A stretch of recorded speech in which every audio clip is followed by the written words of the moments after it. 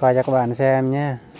Đây là máy khoan thời hiện đại nha ông anh đang làm đang xoay. Xoay hết công suất mới vào được thành cái lỗ để dừng trụ tiêu. Mọi người tiêu nó lên rồi phải trống tiêu thôi. Đó nhìn nha. Rất mạnh luôn. Ông anh làm hết sức luôn. Đó rút ra đổ xuống. Đó, đất. Không cần dùng máy khoan đâu thời này mà sức người làm khỏe hơn mà hey anh ơi đi cho nó thẳng thẳng tí còn cho nó thẳng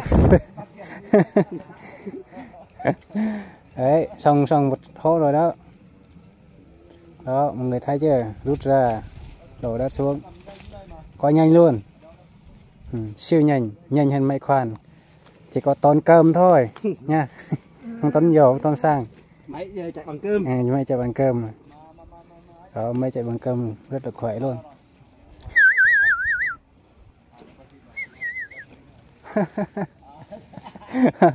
Coi tiktok thôi. Đó 3 phút rồi đó, chưa được một hố. Mấy có một phút chứ mấy.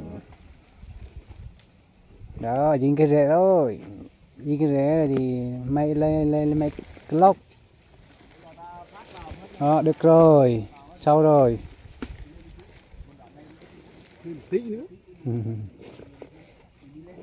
Rễ bờ không sao đâu. Cho nó xoay luôn nát luôn. Đó mình xem nhé đó.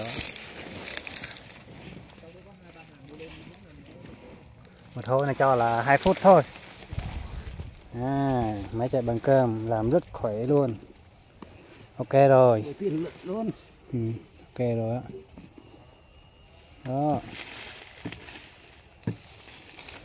Thấy chưa? Hay chưa mọi người?